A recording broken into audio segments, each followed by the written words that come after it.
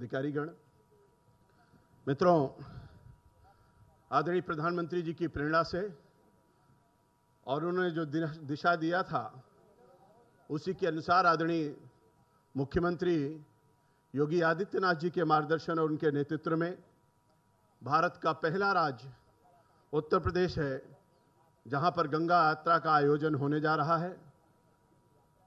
माँ गंगा गंगोत्री से निकल करके और पूरी यात्रा करते हुए 2525 किलोमीटर की यात्रा गंगा मैया करती हैं।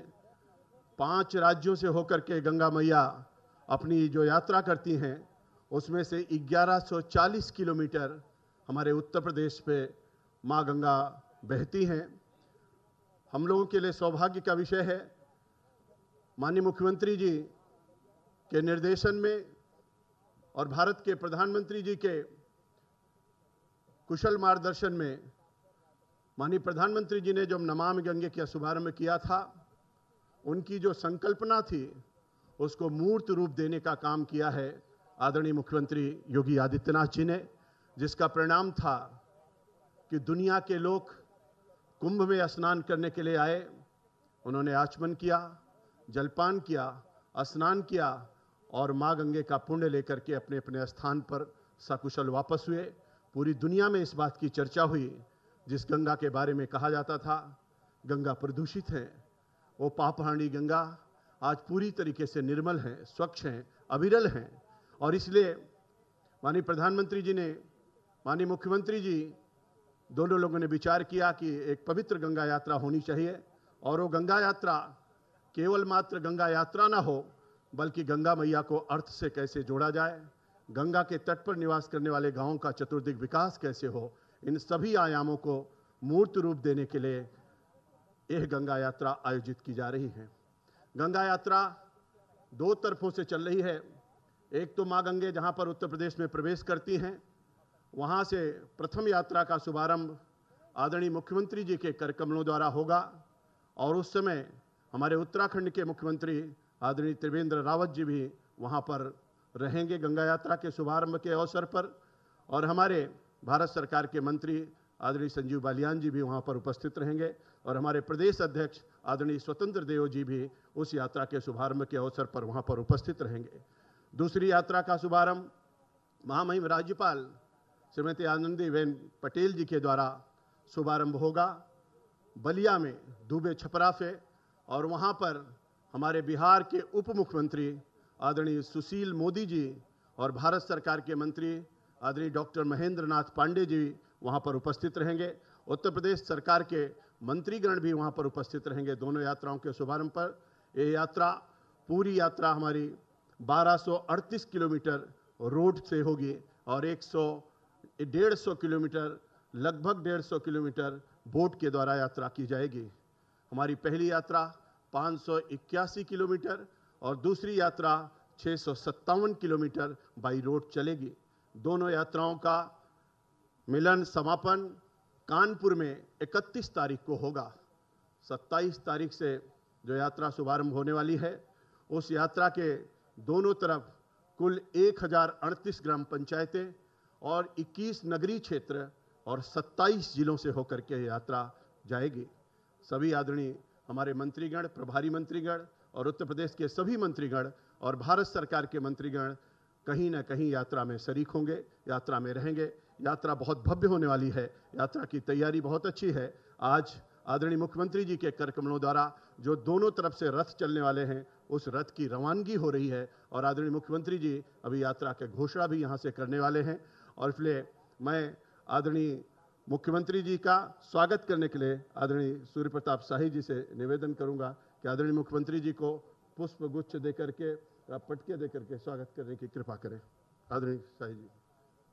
मंगाई नहीं है क्या? फूल नहीं मंगाई ओके कोई बात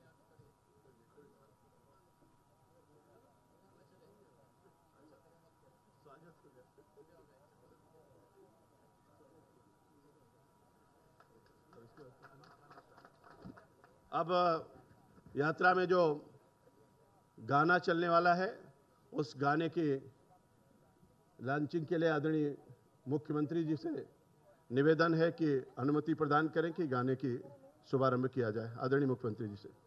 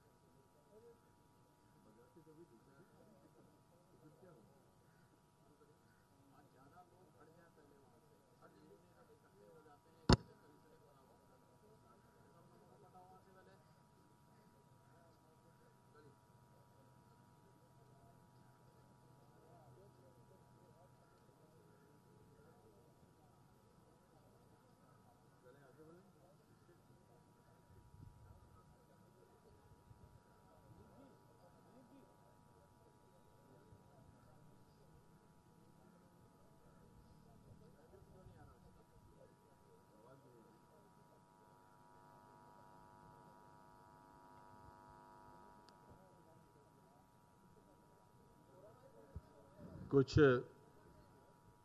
तकनीकी कवरेज के कारण गाना भी थोड़ी देर में बजेगा। इससे पहले मैं आदरणीय मुख्यमंत्री जी से अनुरोध करूँगा, सादर निवेदन करूँगा कि इस अवसर पर अपना मार्गदर्शन देने की कृपा करें। आदरणीय मुख्यमंत्री जी बोले भारत माता की, गंगा मैया की, गंगा मैया की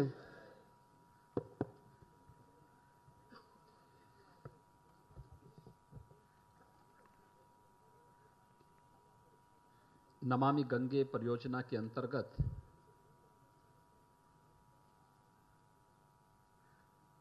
उत्तर प्रदेश सरकार के द्वारा आयोजित गंगा यात्रा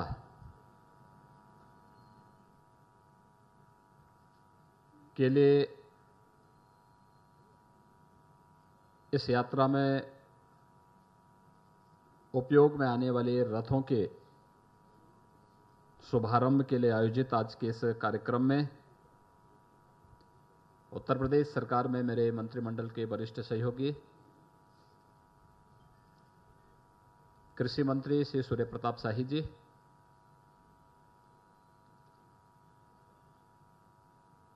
यात्रा के नोडल विभाग जल शक्ति विभाग के मंत्री डॉक्टर महेंद्र सिंह जी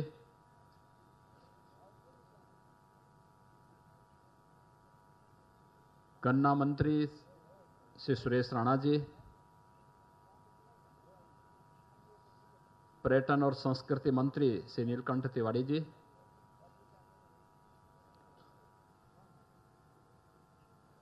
जल शक्ति विभाग के राज्य मंत्री श्री बलदेव सिंह गोलक जी, प्रदेश के मुख्य सचिव श्री आर के तिवारी जी पुलिस महानिदेशक श्री ओपी सिंह जी, अपर मुख्य सचिव गृह श्री अवनीश अवस्थी जी,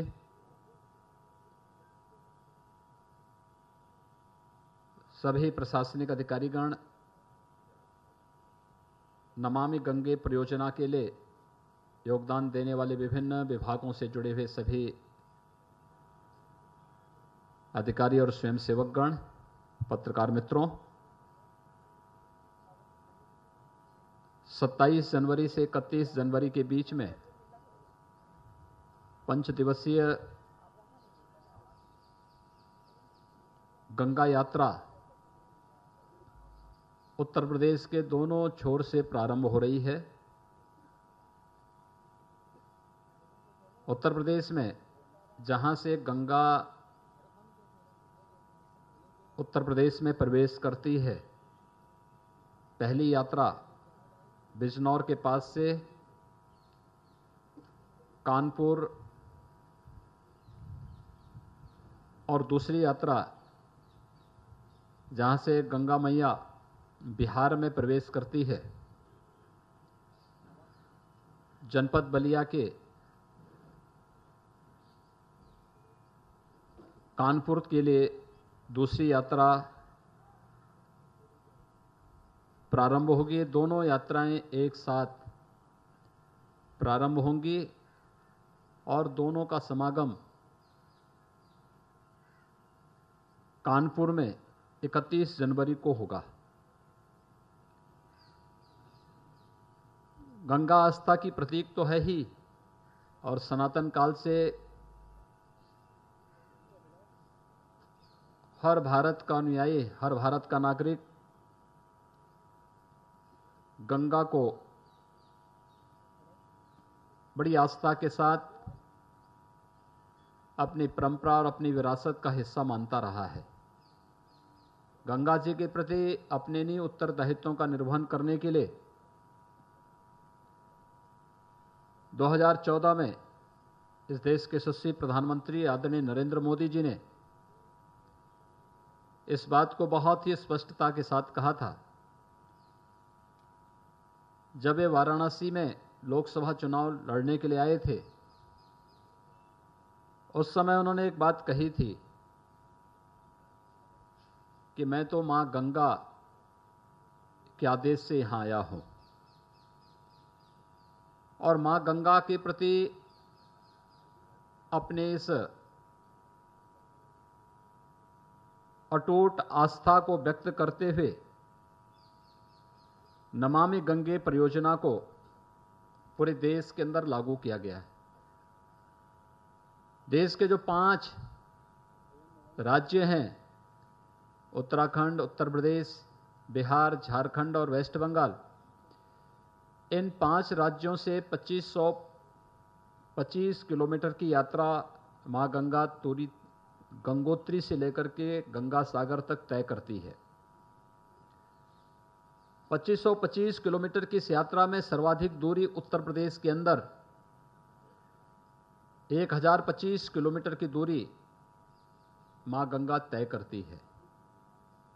तो स्वाभाविक रूप से सबसे बड़ी ज़िम्मेदारी उत्तर प्रदेश की बनती है कि हम उत्तर प्रदेश के अंदर गंगा की अविरलता और निर्मलता के लिए कदम उठाएँ।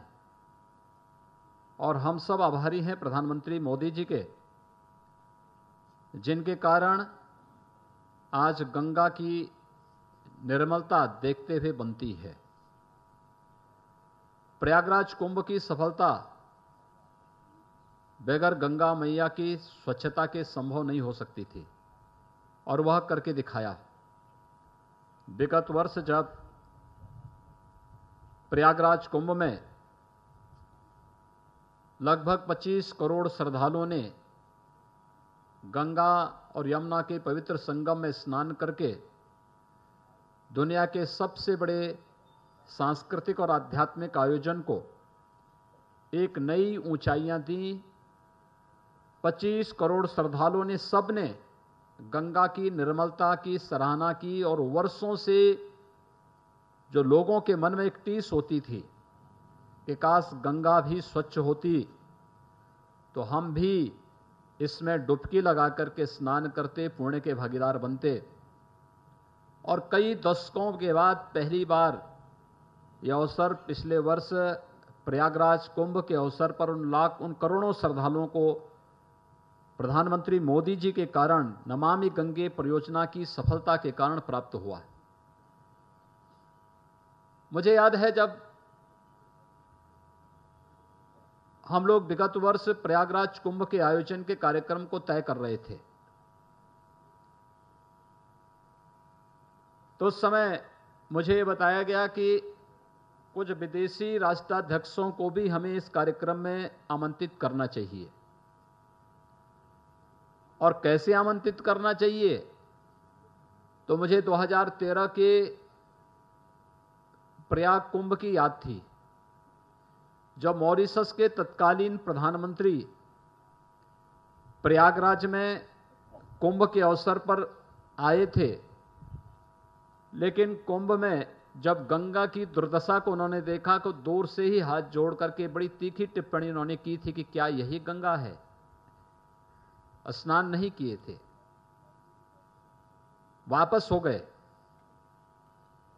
और उस घटना के कारण मैं भी स्वयं इस बात को लेकर सोचता था कि हम किसी विदेशी अतिथि को आमंत्रित करें और वहाँ पर उस प्रकार का माहौल नहीं होगा तो क्या रहेगा? लेकिन जब प्रवासी भारतीय दिवस के अवसर पर मॉरिशस के प्रधानमंत्री अपने भारी भरकम डेलीगेशन के साथ काशी पधारे थे तो मैंने काशी में उन्हें आमंत्रित किया कि आप काशी आए हैं। अच्छा होगा यहाँ से आप प्रयागराज आएँ। और प्रयागराज में कुंभ का आयोजन चल रहा है। कुंभ के आयोजन में माँ गंगा का दर्शन करें, संगम में स्नान करें। तो वे मेरी बात पे हंसे थे, लेकिन उन्होंने मेरे आमंत्रण को स्वीकार भी किया। वे प्रयागराज आए और प्रयागराज आने के बाद उन्होंने वहाँ पर गंगा की निर्मलता देखी और न केवल प्रधानमंत्री, मॉरिशस के प्रधानमंत्री के साथ 400 जो अप्रवासी भारतीय थे या भारतवंशी आए थे मॉरिसस से, उन सभी ने प्रयागराज कुंभ में स्नान भी किया, बल्कि वहाँ से जाने के बाद थैंक्स भी मुझे भेजा। और इस बार मुझे बताते हुए प्रसन्नता है कि माँ गंगा की कृपा से वे फिर से मॉरिसस के अभी हाल ही में चुनाव हुए हैं और फिर से मॉरिसस के प्रधानमंत्री भी बने हैं। यानी ये अपने आप में एक नया चमत्कार हम सबको देखने को मिलता है कि कैसे गंगा जी के इस पूरे अभियान में कितना परिवर्तन देखने को मिल रहा है। आपने देखा होगा, वर्तमान में माघ मेला प्रयागराज में चल रहा है। और जब भी माघ मेला लगता था, मैं पिछले तीन दशक से इस बात को सुनता था, साधु संत, श्रद्धालु, कल्पवासी, हर एक व्यक्ति इस बात पे नाराज़गी व्यक्त करता था कि नदी बहुत प्रदूषित है। लेकिन विगत वर्ष से कोई भी इस प्रकार की शिकायत नहीं है। अभी हाल ही में विगत माह प्रधानमंत्री जी कानपुर में आए थे। हमारे लिए कानपुर नमामि गंगे परियोजना का सबसे क्रिटिकल पॉइंट था। और कानपुर के बारे में कहा जाता था कि कानपुर में गंगा की सफलता यानी गंग निर, निर्मल गंगा की सफलता नमामि गंगे की सफलता गंगा जी की अविरलता और निर्मलता को बनाए रखने में सबसे बड़ी भूमिका का निर्वहन कर देगा। कानपुर में अकेले सीसामऊ नाले में 14 लाख 14 करोड़ लीटर सिवर प्रतिदिन गंगा जी में गिरता था। 128 वर्षों से सिलसिला चला रहा था। और आज मुझे बताते हुए प्रसन्नता है कि नमामि गंगे परियोजना के कारण समयबद्ध ढंग से प्रधानमंत्री मोदी जी के निर्देशन में प्रदेश सरकार ने जो कार्य किया, आज एक बूंद भी सिवर कानपुर में गंगा जी में नहीं बह रहा है। कानपुर में जाजमऊ के बाद गंगा जी में एक भी जलीय जीव नहीं थे। न मछली थी, न अन्य जितने भी जलीय जीव होते थे, सब मर चुके थे। क्योंकि ट्रेनिस का जितना भी क्रोमियम युक्त एफ्लुएंट गंगा में गिरता था, उसके कारण सभी जलीय जीव नष्ट हो गए थे। आज मुझे बताते हुए प्रसन्नता है, हमने उसको नियंत्रित किया और उसका परिणाम है कि फिर से बड़ी बड़ी मछलियाँ और जलीय जीव गंगा जी में फिर से देखने को मिल रहे हैं। ये नमामि गंगे परियोजना का परिणाम है। गंगा के प्रति अपने उत्तरदायित्वों का निर्वहन करने और गंगा हमारी आस्था भी है तो गंगा हमारी अर्थव्यवस्था भी है। इस बात को ध्यान में रख करके इस गंगा यात्रा को प्रधानमंत्री मोदी जी की प्रेरणा से प्रदेश सरकार प्रारंभ कर रही है। आज उसके रथों का यहाँ पर उनके गंतव्यों की ओर भेजने की तैयारी के आयोजन यहाँ पर आयोजित किया गया है।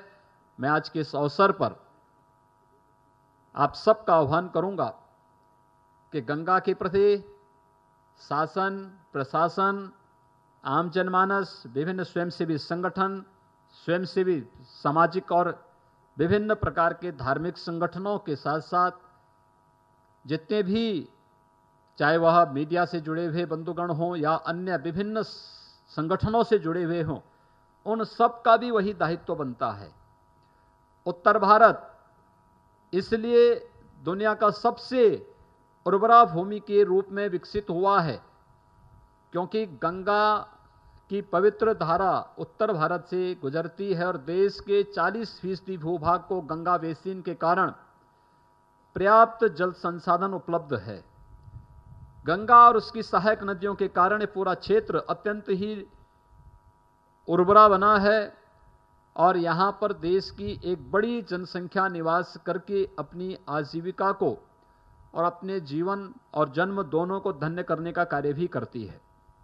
आज इस यात्रा के लिए जो रथ इस यात्रा में चलेंगे, आज उन सभी का हम लोग यहाँ पर दोनों रथों को यहाँ से रवाना कर रहे हैं। ये अपने गंतव्य पर जाएँगे।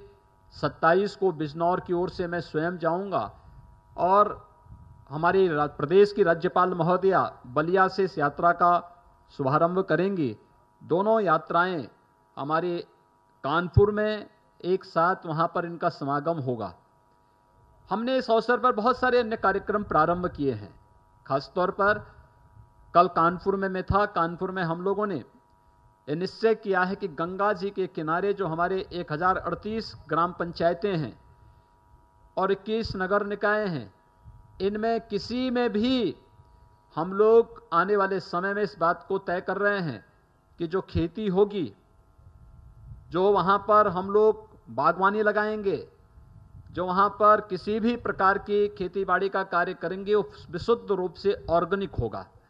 और इसके लिए कल गौ आधारित खेती का एक विशेष प्रशिक्षण का कार्यक्रम चंद्रशेखर आज़ाद कृषि एवं प्रौद्योगिकी विश्वविद्यालय, कानपुर में गुजरात के राज्यपाल आचार्य देवव्रत जी के द्वारा वहाँ पर उस कार्यक्रम का शुभारंभ किया गया और सभी एक हज़ार अड़तीस ग्राम पंचायतों के प्रतिनिधि उस कार्यक्रम में सहभागी बने थे। गंगा के तटवर्ती क्षेत्रों में कहीं गंगा तालाब का निर्माण, कहीं की गंगा मैदान का निर्माण, कहीं पर गंगा पार्क का निर्माण, कहीं पर अलग अलग प्रकार की गतिविधियों और उत्तर प्रदेश शासन के हर विभाग की गतिविधियाँ, ग्राम पंचायतों में, नगर निकायों में स्वच्छता के इस अभियान के साथ जुड़ती भी दिखाई देंगी और इस सब के बीच में कोऑर्डिनेशन का कार्य जल शक्ति विभाग के द्वारा ही यहाँ पर आयोजित होगा। यह कार्यक्रम इसी दृष्टि से आज यहाँ पर प्रारंभ किया जा रहा है। आज के इस अवसर पर मैं एक बार पुनः आप सबका आह्वान करूँगा कि गंगा के प्रति हम सबका दायित्व है। गंगा भारत की नदी संस्कृति की प्रतीक है। गौमुख से गंगा सागर तक बहने वाली एक अजरस धारा है, जो भारत की संस्कृति की, इस सनातन संस्कृति का प्रतिनिधित्व तो करती ही है। लेकिन भारत की नदी संस्कृति जिसके तट पर सभ्यता विकसित हुई है, परंपराएँ आगे बढ़ी हैं, संस्कृति के एक लंबे प्रवाह ने दुनिया को एक नए जीने की कला सिखाई है। भारत की गंगा उसी पवित्र जीवन को जीने की कला को आगे बढ़ाने की एक पवित्र धारा है और उस धारा के प्रति हम सबका कुछ दायित्व बनता है। उस दायित्व का निर्वहन करने के लिए आज हम सब यहाँ पर उपस्थित हुए हैं। मैं इस अवसर पर मुझे इन दोनों रथों को उनके गंतव्यों तक पहुँचाने के लिए रवाना करते हुए प्रसन्नता की अनुभूति हो रही है और मुझे विश्वास है कि 27 जनवरी से 31 जनवरी के बीच हमारी जो ये यात्रा, गंगा यात्रा होगी, ये गंगा यात्रा दोनों ओर से, प्रदेश के दोनों छोर से प्रारंभ होकर के कानपुर में दोनों का समागम होगा और हम सब प्रदेश के इस बड़े भूभाग में गंगा जी के प्रति अपने उत्तरदायित्वों के प्रति आम नागरिक को जागरूक करके उसकी आस्था और प्रदेश की अर्थव्यवस्था को भी एक संबल प्रदान करेंगे। इस अवसर पर एक बार पुनः इस पूरे आयोजन के प्रति मैं अपनी शुभकामनाएँ देता हूँ। धन्यवाद। जय हिंद।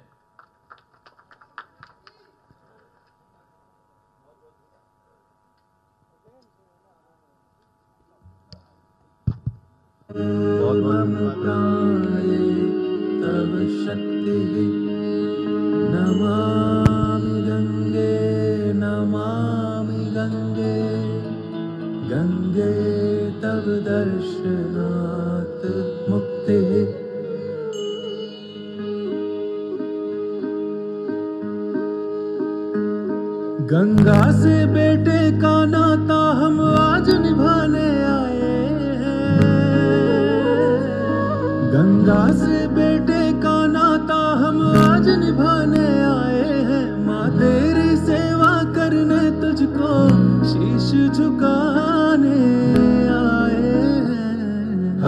हर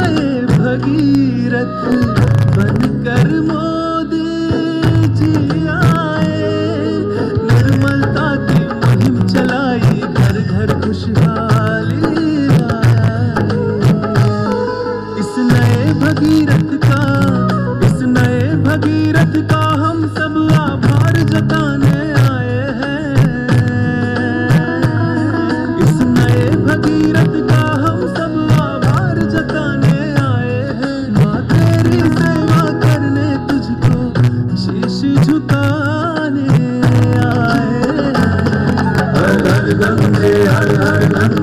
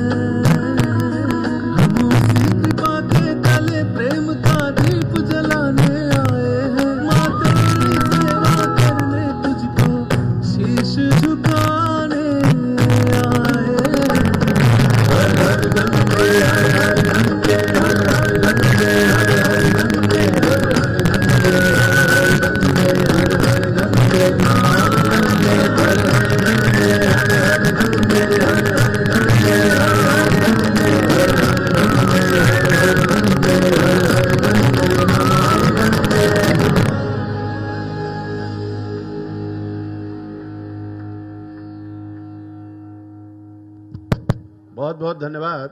अब आदरणीय मुख्यमंत्री जी से निवेदन है कि अपने कार्यक्रमों द्वारा दोनों रथों को झंडा दिखार करके रवाना करने की कृपा करें।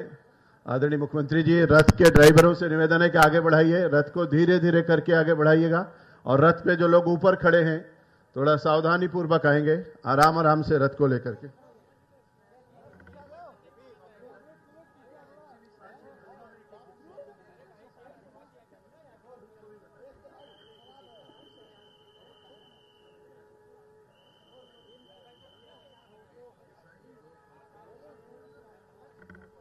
थोड़ा पीछे वाला रथ रुक करके, थोड़ा पीछे वाला रथ रुक करके आराम आराम से दूरी बना के।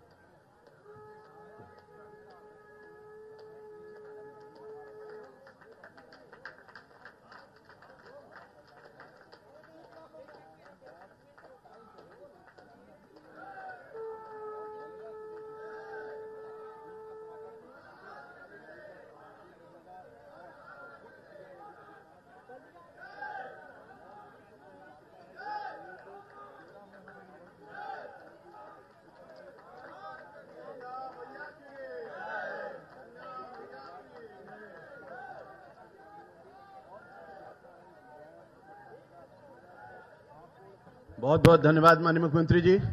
बहुत बहुत धन्यवाद। आप सबका भी बहुत धन्यवाद। हमारे मीडिया के मित्रों का बहुत धन्यवाद और सभी मित्रगण जो यहाँ पर उपस्थित हैं, सभी कार्यकर्ताओं का धन्यवाद अधिकारीगणों का धन्यवाद। बहुत बहुत धन्यवाद।